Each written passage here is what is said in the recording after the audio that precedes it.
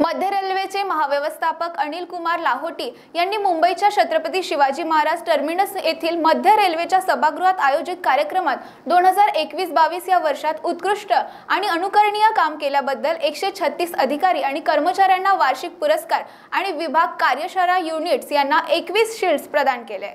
मध्य railway पुरस्कार सोहळा मुंबईत उत्साहाने संपन्न झाला असून मुंबई आणि नागपूर विभागाला संयुक्तपणे एकूण कार्यक्षमता शील्ड जिंकली. वाणिज्यिक इलेक्ट्रिकल मेकॅनिकल आणि स्वच्छतेचा समावेश असलेल्या विभागीय कार्यक्षमतेसाठी मुंबई विभाग चार शील्डचा अभिमानास्पद विजेता ठरला.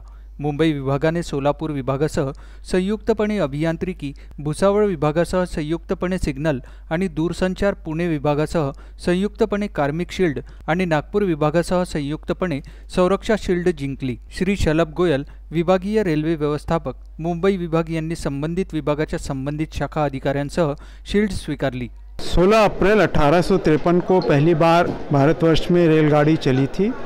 उसी की मेमोरी में हम जो 16 अप्रैल अप्रैल माह में प्रत्येक क्षेत्रीय रेल में रेल सप्ताह का कार्यक्रम आयोजित होता है और इस रेल सप्ताह के कार्यक्रम के दौरान पिछले वित्तीय वर्ष में हमारे जिन कर्मियों ने उत्कृष्ट कार्य किया है, सर्वश्रेष्ठ कार्य किया है, उनकी सर्विस को रिकॉग्नाइज करने के लिए हम उनको रेल सप्ताह पुरस्कार देते हैं।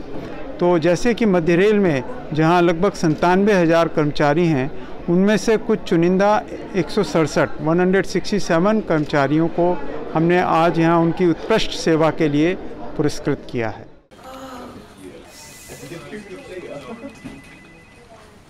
बॉस ने मीटिंग बुलाई।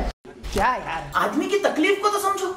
बाहर बाहर उठो बैठो उठो बैठो। जनाब तकलीफ़ उठने बैठने की नहीं तकलीफ़ बवासीर की है। बवासीर, फिशर, भगंदर पाइलोनियल साइंस का आयुर्वेद तथा आधुनिक लेजर से उपचार। अभ्युदय पाइल्स लेजर हॉस्पिटल, लोहार समाज भवन के पीछे महापुष्प सोसाइटी, शताब्दी नगर चौक से मनीष नगर रोड, नागपुर। कॉल और विज़िट करें www.pilesfistulacure.com